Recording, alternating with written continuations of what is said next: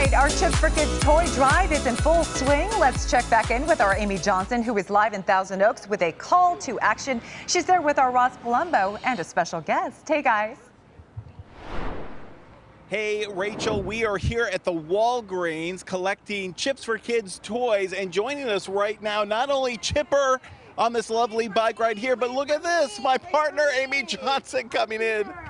Amy, Amy coming in on a bike. Without me, are you? No, we are just getting started, and this is what we're going to be talking about. Yeah, we're talking.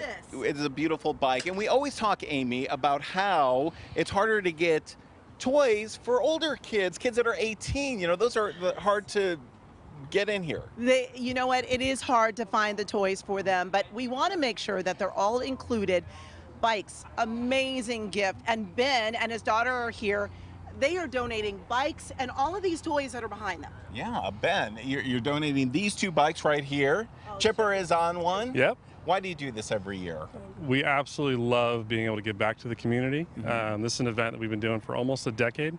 Uh, we absolutely just love coming out here. It's so important. There's so many kids that just don't have the Christmas that, that they should, and this is a small way to help fix that. And it's such a big part about being involved in the community Absolutely. and giving back because you deal with families every single day in the Newbury Park Bike Shop right here in Yeah. Camarillo, right? Yep. So is this important to you then to to stay in touch with these families and help out all year long? Absolutely. There's nothing better than seeing a kid on a bike, especially their first bike, and Mm-hmm. being able to do that for so many years has it's just been great. And Ben has actually brought the steal this. brought the entertainment with yes, him as well. not only yes. You thought me on that bike was tricky? Oh, we've got something even better than this. This is Shane. I met Shane maybe one or two years ago.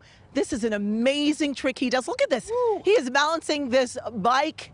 I'm brave enough to stand right by him. This is amazing. You all are just really amazingly talented and so generous and we're so grateful that you come each year bringing bikes which are really hot ticket items Yeah. and all of these toys. Thank you so much for giving and being a part of this every year. It makes such a difference. You know, these toys stay right here in this community. Mm-hmm. And we want to point out that it is not only the bikes, but it is everything you see behind us and underneath these tables. Look at the Yes, very bottom yes, there. yes. They are packed Boxes. with boxes upon boxes, and even behind this.